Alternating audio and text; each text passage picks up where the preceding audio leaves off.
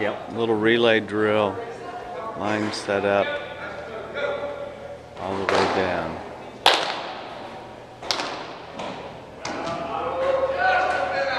Two lines. Competition.